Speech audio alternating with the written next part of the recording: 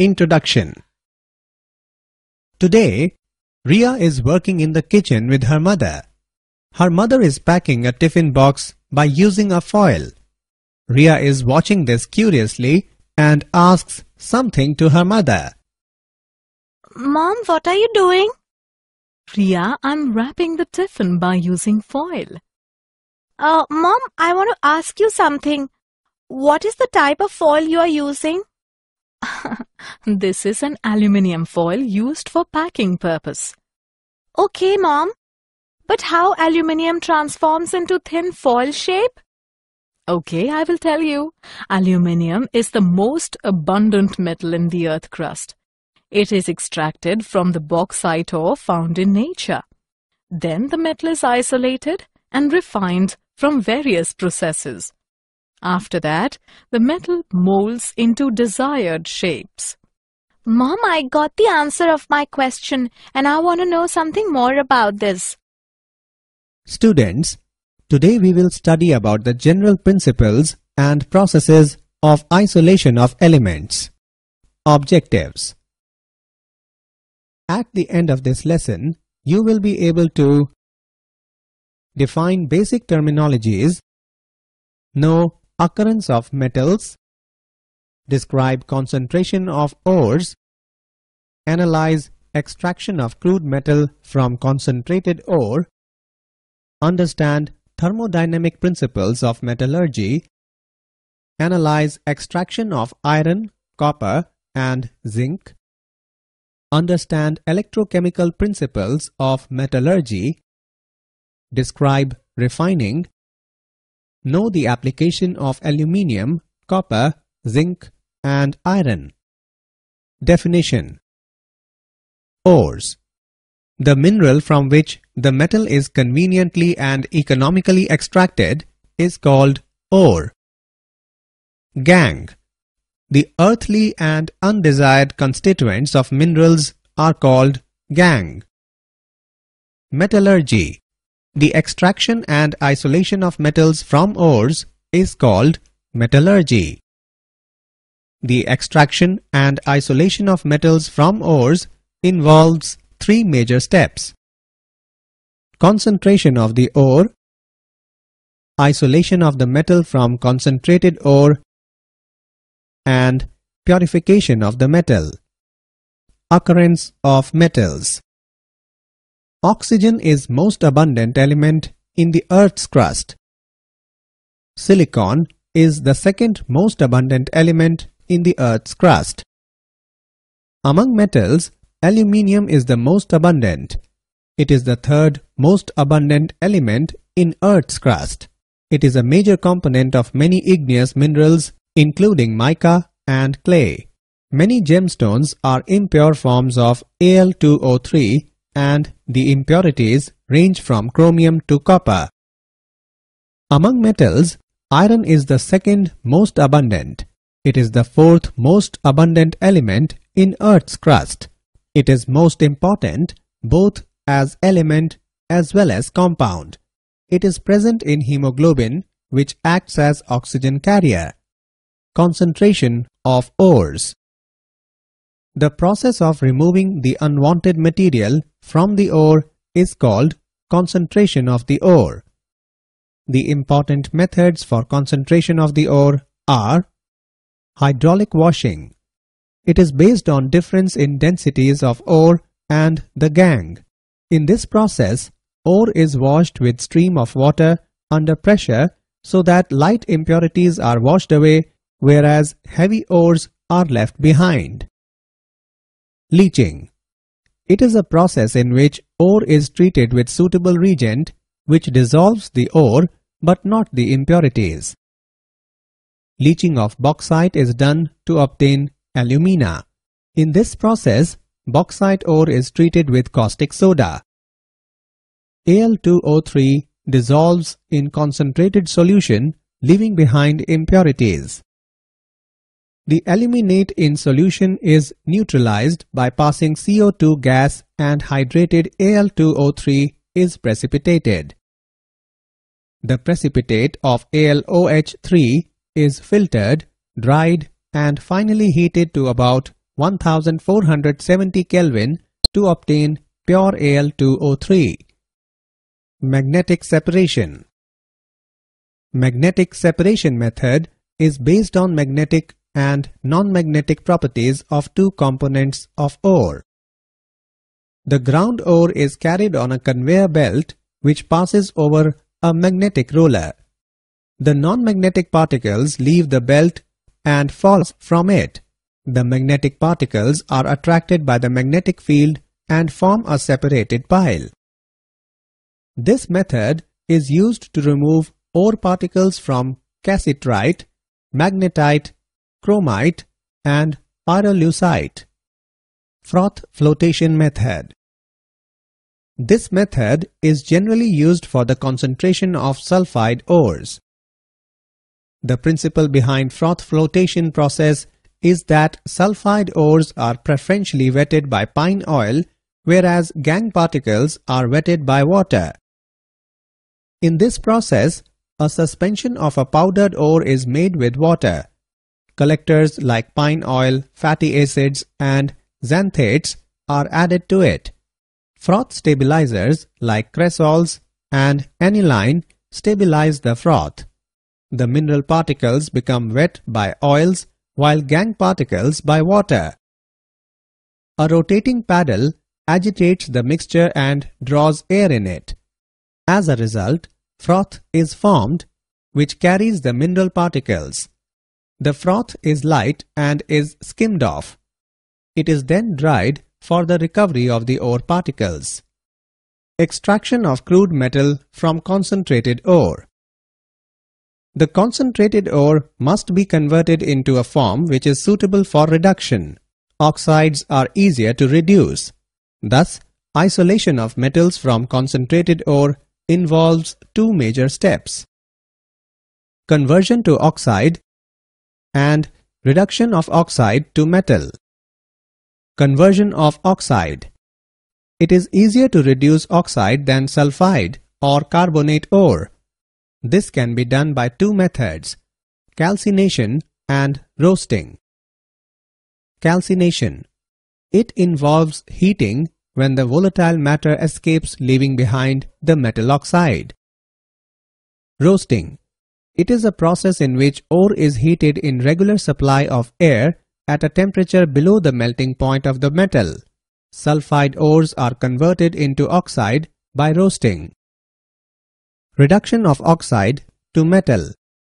The process of converting metal oxide into metal is called reduction. It needs a suitable reducing agent depending upon the reactivity or reducing power of the metal. For example, carbon, carbon monoxide, aluminium and magnesium. Example on extraction of crude metals. Let's take an example on extraction of crude metals. Describe the principle of extraction of each of the following. SN from SNO2, Zn from ZnO, Cr from Cr2O3. Let's see the solution. Sn is obtained from SNO2 by using carbon as a reducing agent. Sn is a less reactive metal. Zn is obtained from ZnO using CO as a reducing agent at 1600 Kelvin. Cr is obtained from Cr2O3 using aluminothermic process. Thermodynamic principles of metallurgy. Gibbs energy helps in understanding the theory in metallurgical transformations. The change in Gibbs energy, delta G, for any process at any specified temperature is described by the equation delta G is equal to delta H minus T delta S, where delta H is enthalpy change and delta S is the entropy change. When the value of delta G is negative, only then the reaction will proceed. If reactants and products of two reactions are put together in a system and the net delta G of the two possible reactions is negative, the overall reaction will occur. Ellingham diagram Ellingham diagrams are graphs of the change in free energy formation with temperature. These are useful in explaining and predicting the extraction of metal from their ores. The height of the line in an Ellingham diagram indicates the instability of the oxide.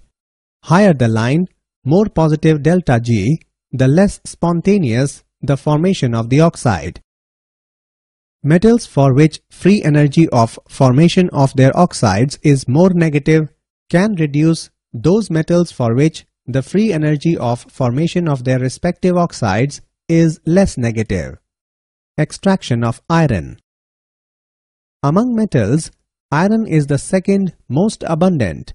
The important ores of iron are hematite or red iron ore, limonite or brown ore of iron, magnetite and siderite. Iron is generally extracted from its oxide ores. The ores generally have 20 to 55% of iron. Concentration of the ore Impurities of clay, sand, etc. are removed by levigation, Calcination and roasting Ore is powdered and mixed with some coal and heated strongly in a shallow furnace.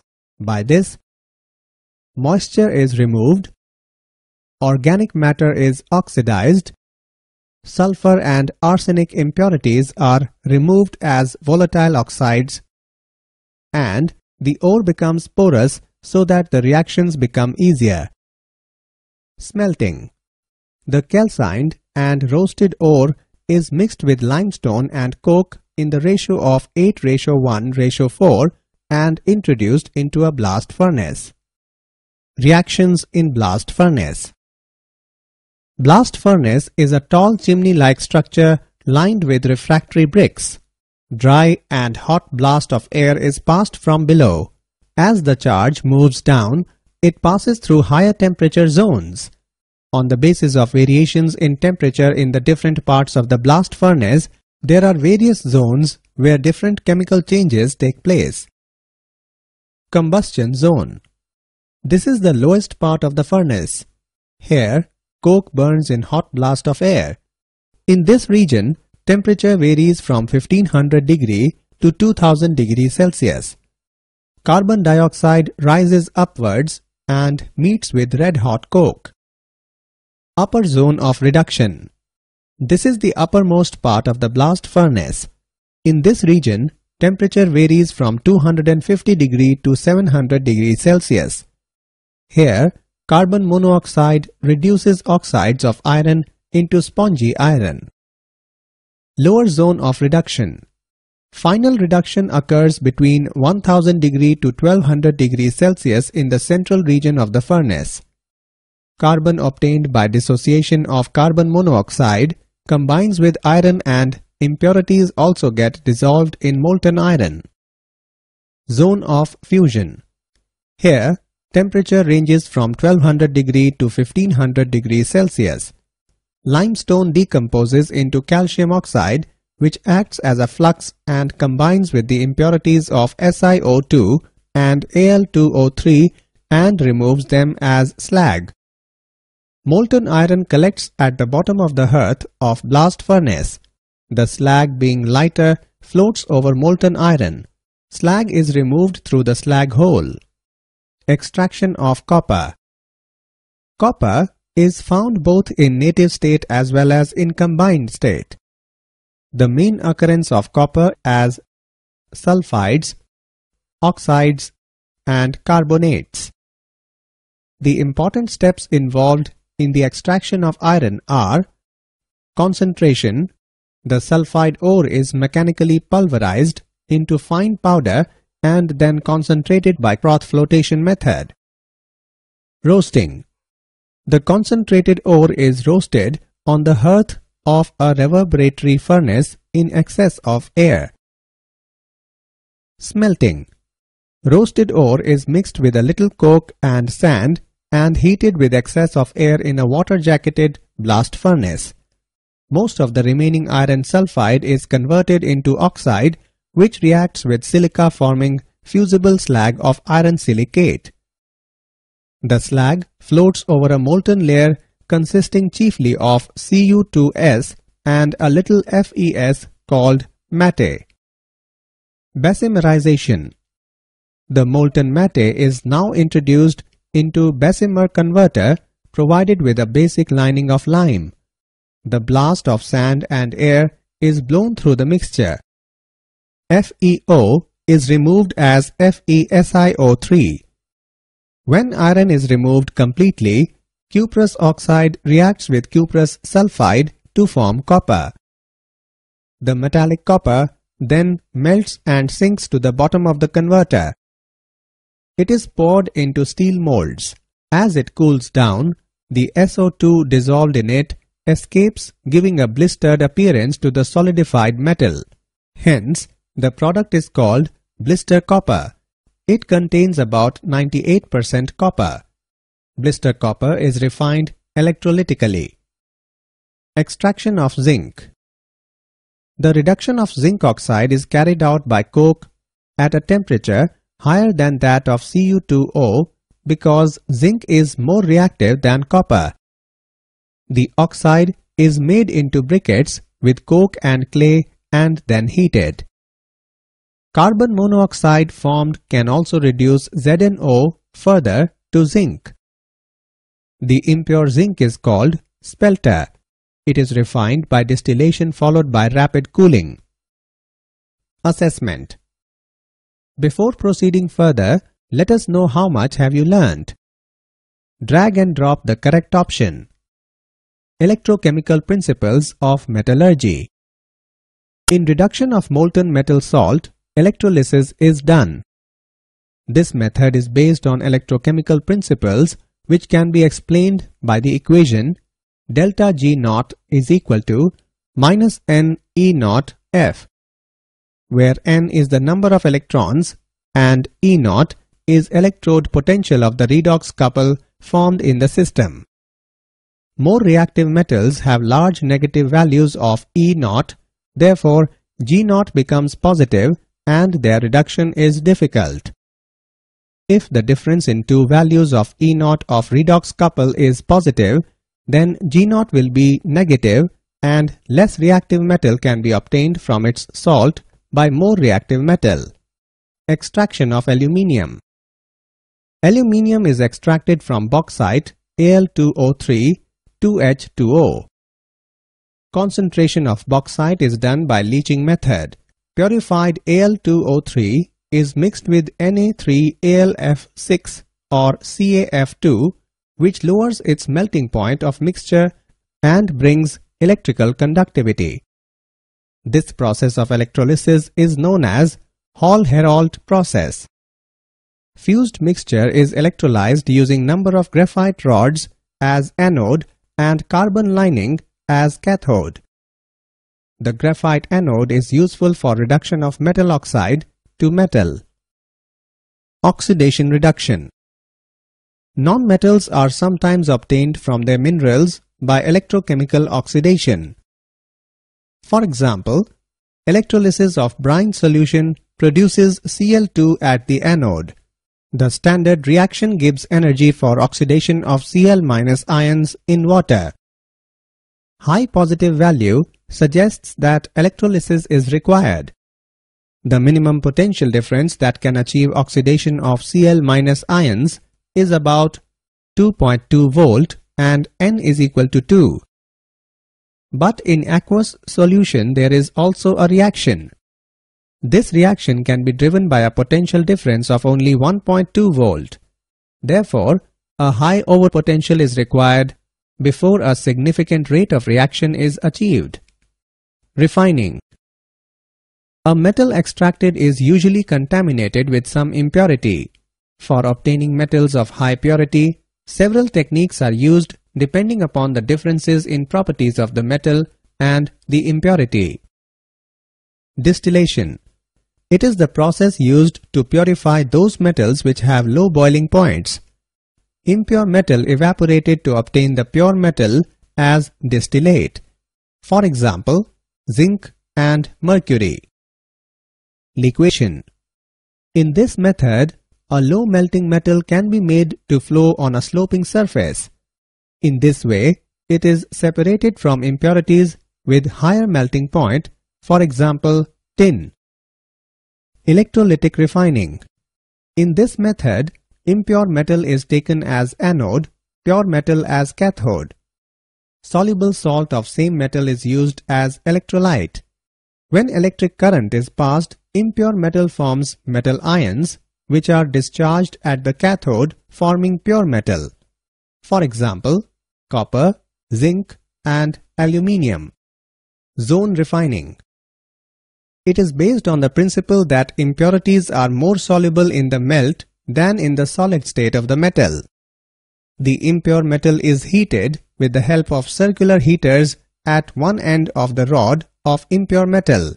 The molten zone is moved forward along with impurities and reaches the other end and is discarded.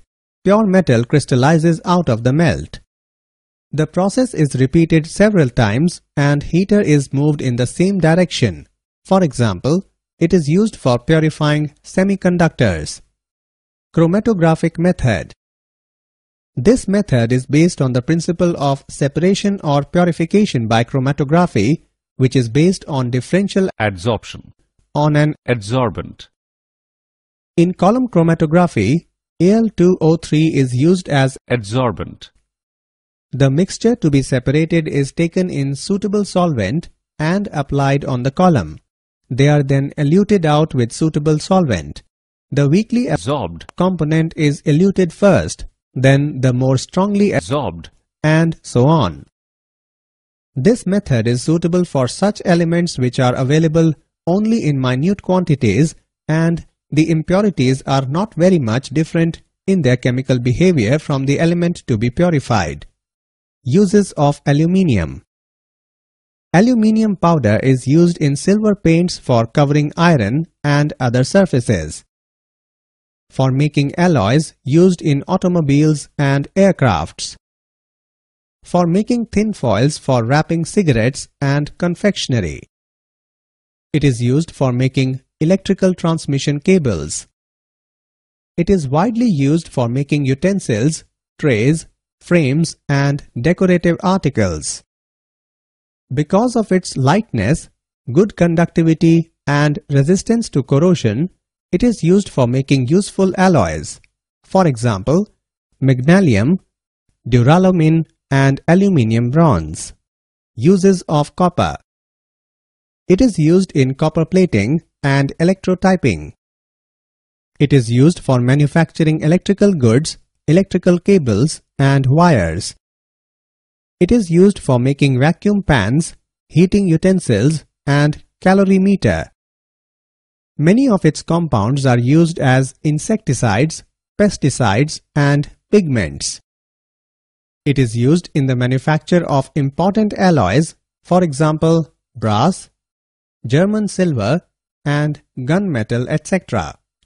Uses of zinc it is used as cathode container in dry cells.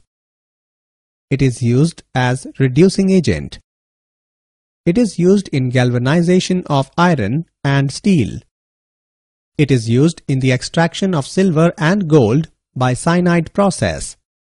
It is used in manufacture of many important alloys, for example, brass, German silver, etc. Uses of iron Iron catalysts are used in the Haber-Bosch process to produce ammonia and the Fischer-Tropsch process to convert carbon monoxide to hydrocarbons used for fuels and lubricants. Iron metal is strong but is also quite cheap. Most automobiles, machine tools, the hulls of large ships, building parts and machine parts are made out of iron.